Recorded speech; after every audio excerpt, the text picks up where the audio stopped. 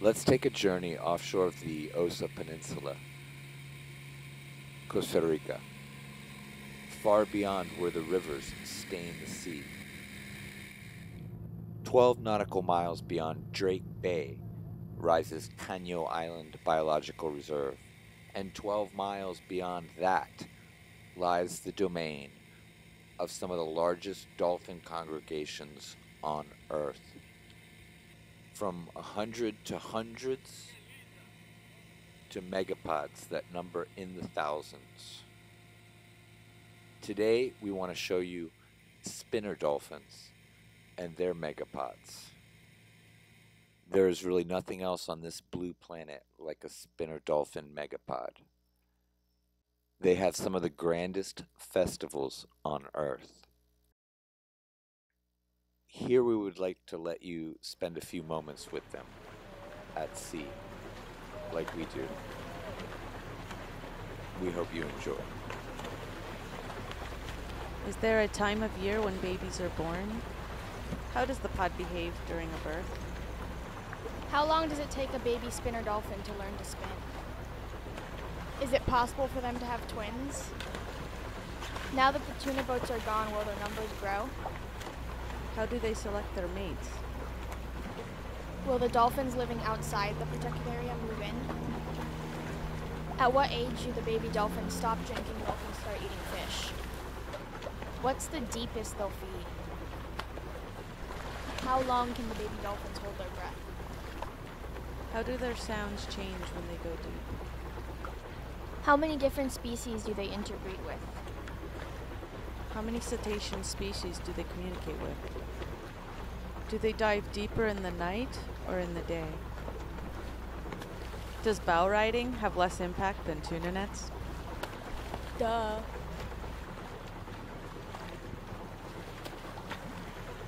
Why have they let us become part of the pod? Why do they do the things they do?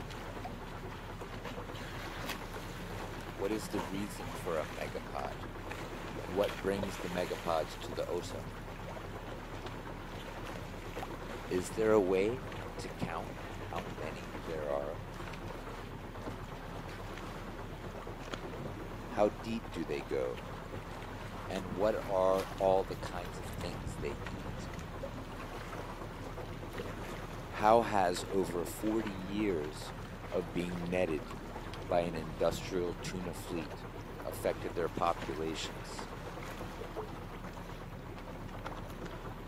What will we learn when we compare the new net-free areas and the areas that will still be killed by the tuna fleet? We found that a mothership sailboat works best to become part of the pod. The megapods are more likely to accept us if the people come in a mixed group of young and old and male and female. Scanning the sea from high on a mothership, we have found the dolphin megapods every day for over two months straight without an airplane.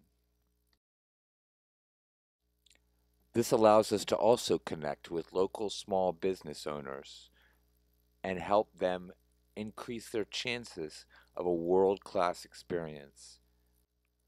This in turn helps all the local hotels, tourism businesses, and local communities. And when we are with the dolphins as witness, we make the poachers go somewhere else. We have learned that from the surface, we are only seeing the tip of a dolphin iceberg, and that the best way to see below is bow riding.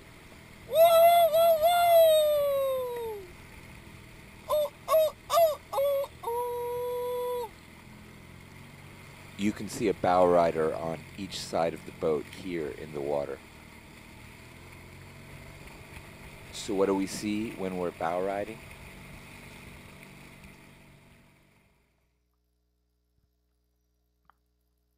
Some of the most amazing sights on our blue planet.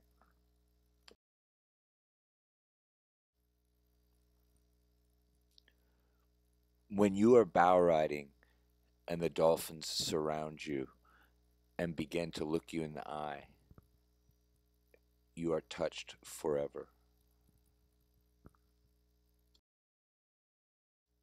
Many times when we swim with the spinners, it seems too slow for them.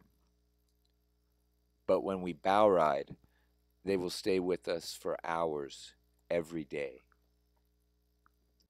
Maybe because for many years, when they're with us, the tuna boat killers go away. Dive in with our amigos and think of what else we need to learn from them.